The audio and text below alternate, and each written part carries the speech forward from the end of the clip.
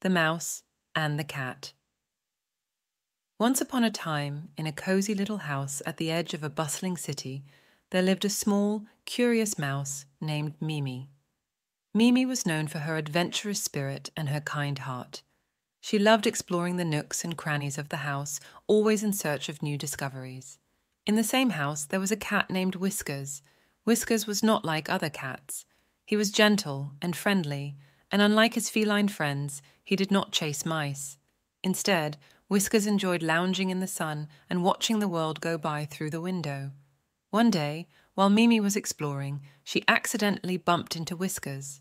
To her surprise, Whiskers did not try to catch her. Instead, he greeted her with a warm smile.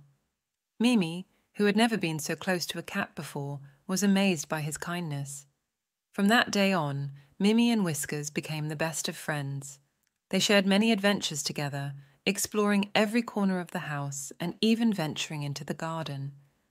Whiskers would tell Mimi stories of the outside world, and Mimi would share her knowledge of the secret places inside the house. Their friendship was a strange sight to the other animals in the neighborhood. Cats and mice were supposed to be enemies, not friends, but Mimi and Whiskers didn't care. They knew that their friendship was special and that true friendship knows no boundaries. As time passed, Mimi and Whiskers taught everyone around them a valuable lesson that differences don't matter when it comes to friendship. Their bond showed that understanding, respect, and kindness are the most important things in any relationship.